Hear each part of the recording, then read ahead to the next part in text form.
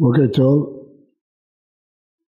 מדבר אדוני אל משה לאמור פנחס בן אלעזר בן אהרון הכהן השיב את חמתי מעל בני ישראל וקנו את קנאתי בתוכם וכיליתי את בני ישראל בקנאתי. לכן אמור הנני נותן לו את בריתי שלום. ראית לו ולזרעו אחריו ברית כהונת עולם תחת אשר קינא לאלוהיו ויכפר על בני ישראל על מה קיבל פנחס את השכר של ברית כהונת עולם ולמה דווקא את השכר הזה של ברית כהונת עולם. אם נדייק בפסוקים נראה שהוא לא קיבל את השכר על הקנאה, לא על זה הוא קיבל את השכר, על זה שהוא הרג את זמרי. הוא קיבל את השכר על זה שהוא עצר את המגפה בישראל בגלל מעשהו. וכיליתי את בני ישראל בקנאתי. וכך כתוב גם בהמשך, תחת אשר קידם אלוהיו ויכפר על בני ישראל. כלומר, הסיבה שהוא זוכה למתנה הזאת של ברית כהולת עולם זה בגלל שהוא במעשה הוא עצר את המגפה וכיפר על בני ישראל. בזה נבין למה הוא קיבל דווקא את הכהונה. תפקיד הכהן זה לכפר על ישראל. מה הוא עושה במקדש הכהן? הוא מכפר על ישראל. אז כיוון שפנחס כיפר על ישראל, מידה כנגד מידה הוא מקבל את מתנת הכהונה כדי לכפר על בני ישראל. על הקנאה הוא קיבל משהו אחר, בריתי שלום, שהקנאה לא תביא אותו לידי מצב של מלחמות וקנאה, אלא קיבל מתנת השלום. אבל על עצירת המגפה ועל זה שהוא כיפר על ישראל, הוא קיבל מידה כנגד מידה להיות כהן שתפקיד הכהן להקריב קורבנות, להגיד וידויים, לכפר על ישראל עם הציץ, עם החושך וגם, למד, אנחנו לומדים עכשיו מסכת מכות, כתוב שרוצח גולה לעיר מקלט עד מות הכהן הגדול. למה עד מות הכהן גדול? כי מיתת כהן גדול מכפרת על ישראל. ויש אומרים מפני שהיה צריך להתפלל על ישראל שלא יקרה להם תקלות כאלה. כלומר שיש תפקיד גדול של הכהונה בכפרה על ישראל ולכן פנחס שכיפר על ישראל ועצר את המגפה הוא זוכה מידה כנגד מידה לכפרה על ישראל. מה הוא קיבל? מה המתנה שהוא קיבל? אומר לכם עכשיו דברים שמעתי מאחי הרב מרדכי. הוא קיבל ברית כהונת עולם.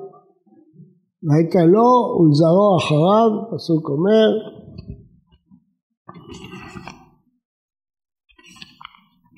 לא רק הוא קיבל, הוא קיבל גם לו ולזרעו אחריו, הייתה לו ולזרעו אחריו ברית כהונת עולם.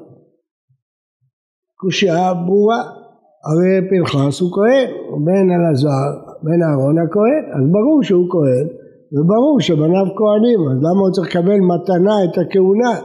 הרי הוא כהן מצד עצמו, הוא לא צריך לקבל מתנה שהוא יהיה כהן. אז יש שתי תשובות. התשובה הרגילה, המקובלת, שלא יתכהן פנחס עד שהרגו לזמרי. מה פירוש? אומר רש"י, אף על פי שכבר ניתנה כהונה לזרעו של אהרון, לא ניתנו אלא לאהרון ובניו שנמשכו עמו, ולתודיהם שיולידו אחר משחתה. אבל פנחס נולד קודם לכן, ולא נמשך, לא בא לכלל כהונה עד כאן, וכן שהיינו בזרחים לא נתקיים פנחס עד שהרגו לזמרי. אז רש"י מסביר, הגמרא בזרחים, שמי יתכהן? אהרון ובניו, הם נמשכו בשמן המשחה. ואז הקדוש ברוך הוא אומר שהם, השמן המשחה שמשכו אותם לכהנים, יקדש גם את בניהם אחריהם, גם הם יהיו כהנים. אבל פנחס נולד לפני שהכהנים נמשכו בשמן המשחה, והוא לא נמשך בשמן המשחה, רק אהרון ובניו. יוצא שפנחס לא נמשך בשם המשחה וגם הוא לא היה מהבנים שאמרו להם שהם יהיו כהנים. רק אלה שנמשכו בשמן המשחה הובטחו בניהם להיות כהנים. זה פירוש ממש פשט של הגמרא בזבחים ולכן פנחס לא היה כהן. אז הוא קיבל את הכהונה במתנה מיוחדת כתוצאה ממעשהו ברית כהונת עולם. זה הפירוש של רבותינו. אבן עזרא פה מביא פירוש אחר אבן עזרא אומר ושכרו שתהיה לו וזרעו ברית כהונת עולם כי הכהנים הגדולים היו מבני פנחס כלומר לפי אבן עזרא ברור שהוא היה כהן והבנים שלו כהנים. אז מה המתנה שהוא קיבל? שהם יהיו כהנים גדולים, שהוא יהיה כהן גדול ושכל זרעו יהיו כהנים גדולים. זאת המתנה שקיבל פנחס. אה, אבל אם נבדוק את זה, נראה שאומנם פנחס היה כהן גדול, זה מפורש בספר יהושע, פנחס היה הכהן הגדול, הוא זה שהלך לאלה שבנו מזבח בעבר הירדן, בראש המשלחת, פנחס היה כהן גדול בימי יהושע ובימי השופטים. האם בניו היו כהנים גדולים? אם נסתכל בספר דברי הימים, אז צדוק הוא מהשושלת של פנחס, מפורש שם בפסוקים, שצדוק הוא מבין בניו של פנחס. ובאמת מצדוק ואילך אנחנו מוצאים שהשושלת של פנחס הייתה כהנים גדולים. אבל הכהנים הגדולים שהיו לפני צדוק, מפורש בדברי הימים, הם היו כולם לא מפנחס, היו מאיתמר, בכלל לא מאלעזר. אה, הכהנים שהיו אה, עד צדוק היו מבני אלעזר, אז לא, איפה התקיימה ההבטחה של ברית כהונת עולם? כן. אז אנחנו יודעים שהוו של השלום בספר תורה קטועה, וו קטיעה. למה היא קטועה? כי באמת הייתה תקופה שההבטחה הזאת לא התקיימה.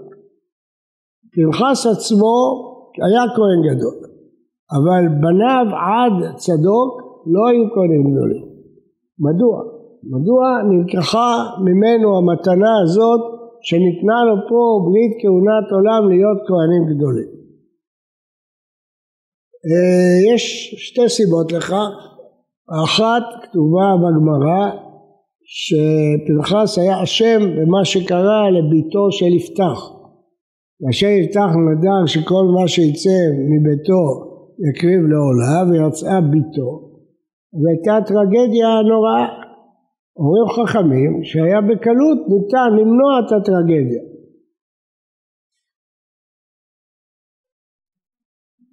הרי יפתח נדר נדר. כל נדר אפשר להתיר אותו. ואם פותחים פתח אפשר להתיר נדר. ופה הפתח מאוד ברור הוא חשב שיצא כבשה או עז או פרה, הוא לא חשב שיצא בן אדם חי, או בטח לא ביתו. אז היו פותחים לו, אילו היית יודע שתצא ביתך היית נודר, הוא היה אומר לא, ואז היו מתירים לו את הנדר. אז למה הטרגדיה הנוראה הזאת במקום להתיר את הנדר? אומרת הגמרא דבר מזעזע, שיפתח לא רצה ללכת אצל פנחס, כי הוא אמר אני המלך, הוא צריך לבוא אליי. ופנחס לא רצה ללכת ליפתח, הוא אמר אני כהן גדול, הוא צריך לבוא אליי, אני לא צריך לבוא אליו. אומרים חז"ל דברים נוראים, בין כך ובין כך הלכה הבת. על הוויכוח הזה מי ילך אצל מי נולדה הטרגדיה הזאת של בת יפתח. אז בוודאי שיש פה ביקורת חריפה של חכמים גם על יפתח וגם על פנחס. למה הוא לא הלך ליפתח כדי להציל את הבת? ורואים מכאן שהביקורת הזאת הביאה לכך שהוא נענש שלתקופה מסוימת נתלה ממנו המתנה להיות כהן גדול. הפירוש השני, פנחס היה כהן גדול בימי פילגש בגבעה. החכמים אומרים שיש אשמה על מה שקרה שם, על השחיתות שקרה שם. מה האשמה?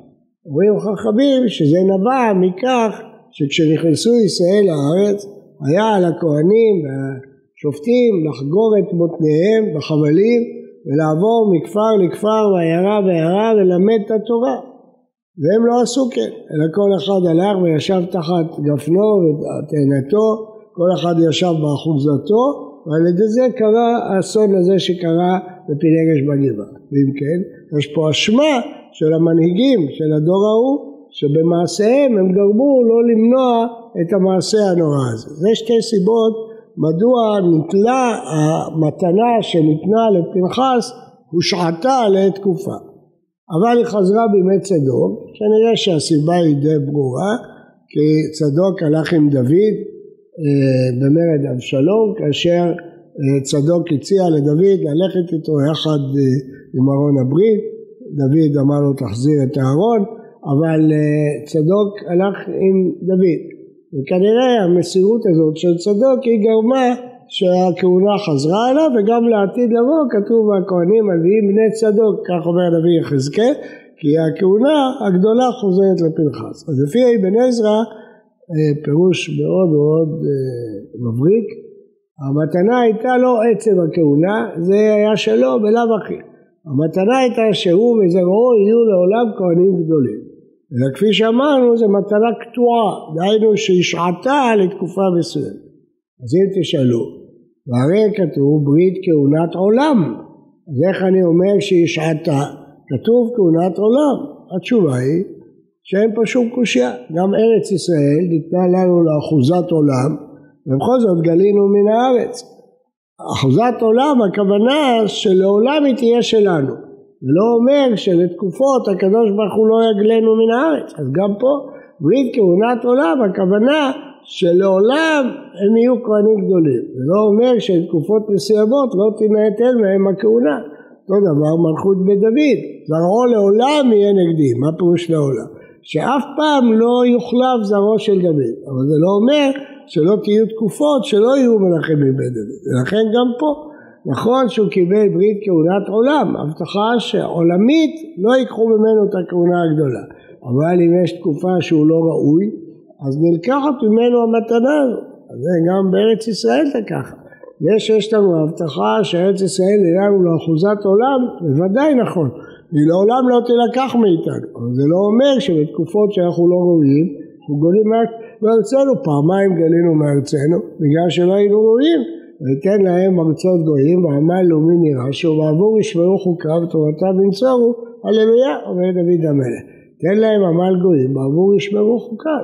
זאת אומרת שברית היא לא מבטיחה ש, שלא יהיו תקופות שזה לא יהיה קיים, זה מבטיח שלעולם זה יהיה קיים, כלומר בסופו של דבר המלכים יהיו מבן דוד, בסופו של דבר הכהנים הגדולים יהיו מזרע הצדוק ובסופו של דבר ארץ ישראל תהיה ירושה לעם ישראל, אבל זה לא אומר שבתקופות מסוימות בינתיים לא תהיה השעיה ולכן הוו קטועה אז אם כן, לפי הפירוש הראשון הוא קיבל את עצם הכהונה, לפי הפירוש השני הוא קיבל את הכהונה הגדולה לא בלזרעו לדורות. ושני הדברים האלה, למה? בגלל שהוא כיפר על בני ישראל. בגלל שהוא הצליח במעשה שלו לעצור את המגפה, כיפר על העם, הכהנים תפקידם לכפר. ולכן עצם זה שהוא כיפר, זה נתן לו את המתנה שיכולתו לכפר על בני ישראל. אמרנו שעל עצם הקנאה הוא קיבל מתנה אחרת, פריטי שלו. דהיינו, המקנא יכול חלילה להפוך את זה לאופי שלו, אופי של מקנא. אז זה אסור שיהיה כך, המקנא צריך רק שזה לשם שמיים גמור, שאין בליבו שום אה, סטייה שהיא לא לשם שמיים. לכן הוא קיבל מתנה ברית שלום, דהיינו שהקנאה לא תפריע להיותו איש שלום. הרי הכהנים הם אנשי חסד, אנשי השלום, ולכן הוא קיבל מתנה מיוחדת על הקנאה שיהיה לו ברית שלום, שהקנאה לא תהפך למהות שלו, אלא שהוא יהיה איש שלום במהות שלו. ולכן על הקנאה הוא קיבל מתנה את השלום, ועל הכפרה הוא קיבל מתנה את הכהונה, או הכהונה הגדולה, שמטרתם לכפר על בני ישראל. אני מקצר קצת כי יש לי יום זיכרון לאבא שלי, אני צריך לנסוע. יהי רצון שדברי התורה יהיו לעילוי נשמת אבי מורי ודוד בן פרידה, השם תלכנו וגן עדן.